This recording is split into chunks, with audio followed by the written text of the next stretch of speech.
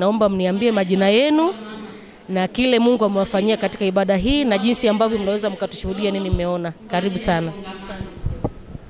Na kwa majina ninaitwa Bukuru Francoise. Na dada niliye naye ndugu yangu hapa dada, jina lake anaitwa Nionzima Jacqueline. Kwanza kabisa tunamshukuru Mungu kwa kibali kikubwa. Tumeona mkono wa Bwana wakati tumekuja safarini, na tulipofika hapa hatukutegemea kama tuta tutapata mtu yeyote wa kutusaidia isipokuwa kuona tu uwanja wa kazi ya Mungu. Hiyo ndio ilikuwa ni faraja yetu, lakini tulipofika kwa kibali kikubwa, Mungu ametusaidia.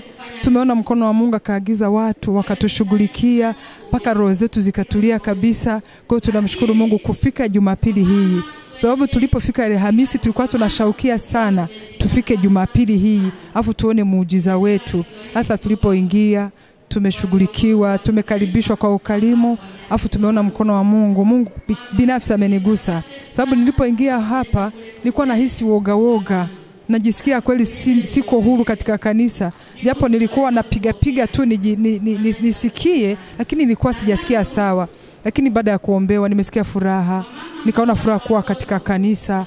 Kwa hiyo ninamshukuru Mungu kuona kanisa la Bwana, ndugu katika Kristo, tumeshughulikiwa. Isitoshe woga tuliokuwa nao wa kurudi nyuma, tumeshughulikiwa kutoka ya kutosha, tena ya zaidi. Mungu awabariki sana, ninashukuru Mungu sana. Jamani, endeleeni moyo huyo, na Mungu awapanue sana watumishi, Mungu awapanue kabisa. Naona sina la ziada. Mungu awabariki. Una nini labda cha kuambia watu wengine ambao wana shida na hawajafika mahali hapa, unawaambia nini?